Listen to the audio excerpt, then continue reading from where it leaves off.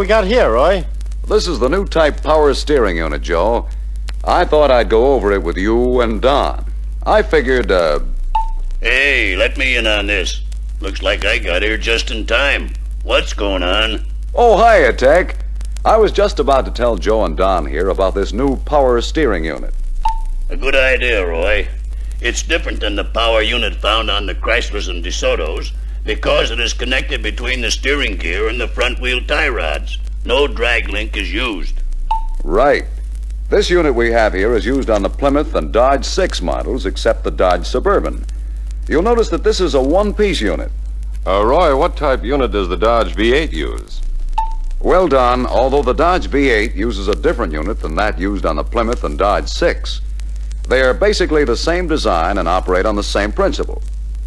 We'll talk more about the Dodge V8 unit in the reference book. However, before we go into a discussion of the principles of operation, we might take a look at the slight physical differences between the two units. The Plymouth and Dodge 6 unit has the power cylinder and the valve assembly combined as one unit. In the Dodge V8 unit, the power cylinder and valve assembly are separate units bolted together. And you'll notice, too, that the steering arm is connected directly to the spool valve on the V8 unit, whereas on the Plymouth and Dodge 6 unit, the steering arm is connected to the steering arm stud. Right, Tech. And of course, the units are designed to take the effort out of steering. Right. And you want to remember the driver still has the feel of the road at all times. Say, that sounds all right. The power steering units become operative whenever a slight force is exerted on the steering wheel. Actually, the amount of assistance given by the power unit to turn the front wheels increases in proportion to the effort or pull applied to the steering wheel. Hmm, that's good. The driver maintains full control of the car with an average light grip on the steering wheel. Uh, but what happens if the hydraulic power fails? Nothing, Don, except there will be a slight increase in steering effort over that needed for a car not equipped with power steering. But the car can be handled very well manually. Why don't you explain the details of operation using the Plymouth and Dodge 6 unit as an example? That's a good idea, Tech. Let's take the valve assembly located here at the left end of the power cylinder. The valve assembly consists of a spool-type valve, the outer and inner reaction pistons and springs, and the steering arm stud. The stud extends through the valve body assembly and is held in the center position by the reaction piston springs. Right, Roy. There are two replaceable steel ball seats which bear against the ball around the stud. They help to center the stud. Good. Now, you want to remember that this is the single unit type containing the power cylinder and the valve assembly. And the heart of the unit is, of course, the valve assembly, which controls the movement of the power cylinder. You'll notice that the piston is secured on the left end of this hardened chrome-plated rod. The other end of the rod is attached to a bracket on the right frame side rail. The rod is insulated from the bracket by rubber cushions. Then it's the cylinder rather than the piston that moves. Right, Don. The left end of the cylinder is attached to the steering gear arm by means of the steering arm stud. And the tie rods are connected to these two ball studs on the power cylinder, and of course to the steering knuckle arms. What about oil for the unit, Roy? Where does it come from? From the reservoir and a rotary type hydraulic pump mounted at the rear of the generator. The engine drives the pump through the generator shaft. Flexible hoses connect the pump to the power cylinder. Now I suppose you're going to tell them how the unit works, eh, Roy? Right. Now, let's suppose that the driver turns the steering wheel. Here's what happens. When the steering wheel is turned, the steering arm stud slides sideways in the valve assembly. This causes the spool valve to move away from the center or neutral position. Oil under pressure is admitted to one side of the piston. This pressure moves the cylinder, which in turn moves the tie rods and the front wheels. Now let's take a left turn, for example. When the steering wheel is turned to the left, the steering arm stud slides the spool valve to the right. The pressure port for the passage leading to the right side of the piston is open wider, increasing the pressure on the right side of the piston. At the same time, the return passage port leading from the left side of the piston opens further, permitting oil on that side of the piston to return to the reservoir. And this difference in pressure on the piston causes the cylinder to move to the right, turning the wheels to the left. Check. And for a right turn, the action is just the opposite. The spool valve is moved to the left. This opens the pressure port wider, increasing the pressure on the left side of the piston. And at the same time, the return port, leading from the right side of the piston, is opened wider, permitting oil on that side to return to the reservoir. Well, what takes place when the steering wheel is not turned? In the neutral position, Joe, no steering effort is being exerted on the steering wheel. This means that the spool valve is in the neutral position. Oil from the pressure side of the pump passes through the valve body and back to the pump. Right. And since equal force is being exerted on each side of the piston, the cylinder remains stationary. And, uh, Roy, will the front wheels return to the straight ahead position when the driver releases the steering wheel? Oh, sure, Don. A small portion of the oil from the pressure port is fed through a passage to the rear face of the reaction piston. So, when the driver releases the steering wheel, the reaction piston forces the spool valve back to neutral, reducing oil pressure to the power cylinder. And as soon as pressure is equalized on each side of the piston, the steering geometry takes over and returns the wheels to straight ahead position. Suppose something happens and the pump quits putting out pressure. What then? You just steer entirely by manual effort. The arrangement of the pressure and return passages in the valve body is such that oil cannot be trapped in the cylinder and resist movement. That's a good point, Tech.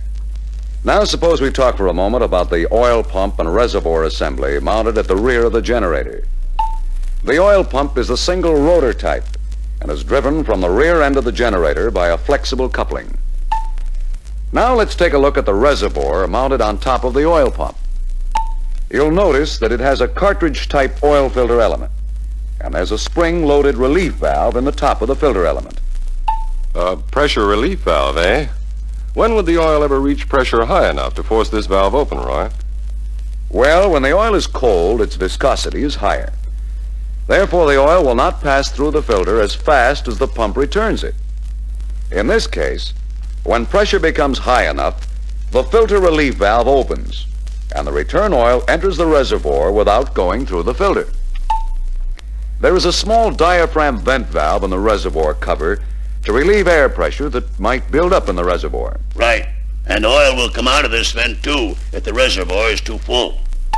Rubber O-rings are used at the oil passages between the reservoir and the pump to prevent oil leaks.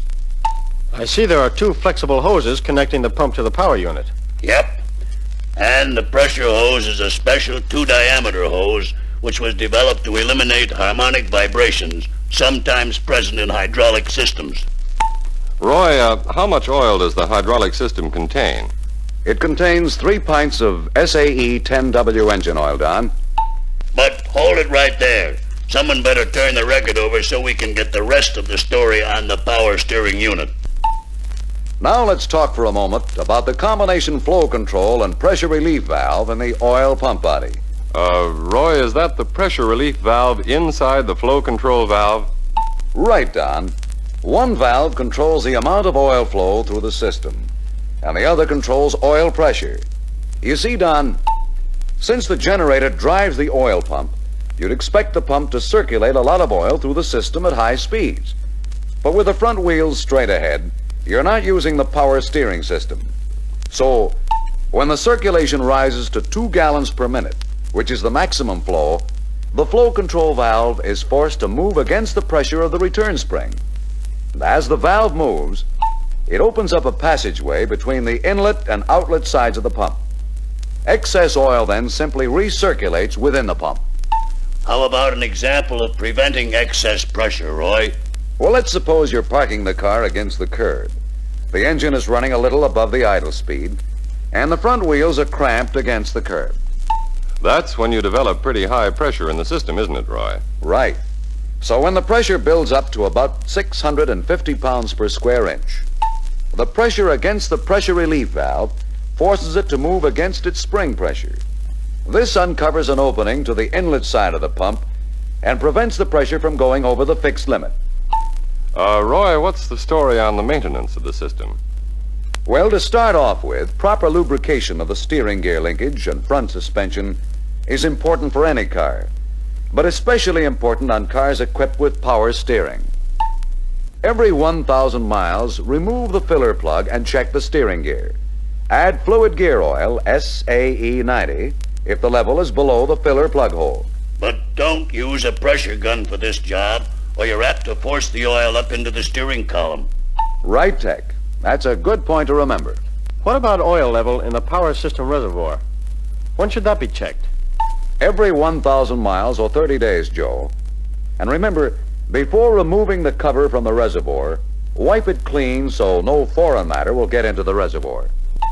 Then remove the cover and check the oil level. The level should be up to the level mark on the reservoir. And don't disturb the filter element. You don't have to change it, so leave it alone. Do you ever have to change the oil in the power steering unit? Not unless the temperatures are consistently lower than 10 degrees below zero. In that case, you put in SAE 5W engine oil.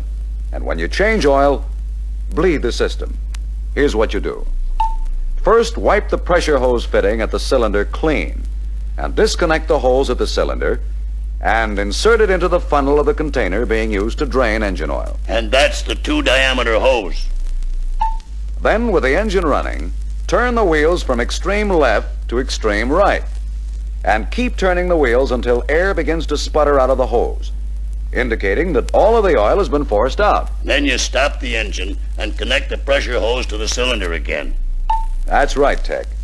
Then add oil to fill to level mark on the reservoir, and with the engine running, turn the front wheels from extreme left to extreme right until no more oil bubbles appear in the oil in the reservoir.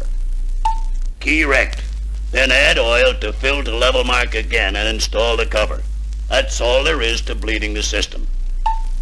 And now you better tell Don about adjusting the fan belt, Roy. Say, that's right, Tech. The fan belt tension should be checked, and the belt tightened if necessary to prevent noise and slippage. And that belt should be checked on new cars and at the 1,000 mile inspection. Right, Tech. To adjust the belt tension, first loosen the adjusting bracket bolt and pivot the generator outward to take up the slack. Press your thumb on the belt midway between the generator and water pump pulleys. The belt should deflect not more than a quarter of an inch. Then tighten the adjusting bracket bolt. And if you've got the special tool for adjusting belt tension, you can do it easier. This tool right here, Tech means. Right. Just hook the tool over the adjusting bolt lug at the top of the generator, and the other end can bear against the outside diameter of the generator. You'll notice that the lower end of the tool has a square hole to receive the drive socket of a torque wrench. So loosen the generator clamp bolt and pull out on the torque wrench until indicator points to 15 foot-pounds. Then tighten the bolt. This gives you a very accurate adjustment of the belt. When you test drive a car to check the power steering, drive at speeds of 15 to 20 miles per hour, making several turns in each direction during the test. When a turn is completed and pressure on the steering wheel is released, the front wheels should return to the straight ahead position with very little effort by the driver. You want to remember, the front wheels will return more slowly on cars equipped with this type power steering than on cars not equipped with power steering. That's a very good point to remember, Tech. If the front wheels fail to recover as they should from a turn, and the steering linkage is free and properly adjusted, you may have misalignment of the power cylinder or improper adjustment of the valve. This diagnosis chart in the reference book will assist you in locating the source of the difficulty. Suppose I get a report from a driver that his car steers too hard. What do I do? Start the engine and idle it at 450 to 500 RPM. With the front wheels on a dry, smooth concrete floor, turn the steering wheel one full turn in each direction from center. Check the turning force with a spring scale. Now, if it takes a force of more than 10 pounds at the rim of the steering wheel to turn the wheel, the car does steer too hard. So you have to check the possible causes as given in the diagnosis chart. Roy, could lack of assist be in the pump? Yes, it could, Don. It's pretty easy to check the pump pressure. Now, here's what you do. With the engine turned off, remove the pressure line from the pump and screw this pressure gauge into the pump body. Then connect the pressure line to the gauge. And be sure all connections are tight before you turn the gauge valve to the open position. That's right, Tech. Now, start the engine and allow it to idle for several minutes to permit the oil to reach operating temperature. Then, with the valve open, turn the wheels. Check the pressure shown on the gauge while the wheels are moving. And don't hold the steering wheel in the extreme positions, or you may heat up the pump and cause it to score. That's a mighty good point, Tech. Now, if the pressure reading is greater than 500 pounds per square inch, the pump and power cylinder are working satisfactorily. It is unnecessary to continue the pressure check further. This one is above 500, so it's okay. If the pressure had been less than 500, you would want to know whether the fault was in the pump or in the power cylinder. So you'd close the valve and read the pressure developed by the pump. And don't leave that valve closed more than three or four seconds, or you may cause the pump to score. Right, Tech. What if the pump pressure is over 500 pounds per square inch? That means the pump is okay, so the difficulty must be in the linkage or the power cylinder. However, if the pressure reading of the pump alone had not shown at least 500 pounds, and the fan belt tension was okay, you'd remove the relief and flow control valve and inspect them for scores, dirt, and for score marks inside the pump valve bore. And when you install the valves, use new springs. I suppose then, if the pressure in the system is okay, but the car still steers hard, you'd check for binding in the linkage. Right. And if the linkage connections were free, you'd remove the cylinder assembly and check it, following the points given in the reference book. Well, that's a pretty good introduction to this new power steering unit. But you fellas be sure to study that reference book. Remember, there's no substitute for good, sound knowledge. Customers are pretty sharp. They know when a mechanic knows his stuff and when he's just bluffing. So, don't get caught with your pressure down.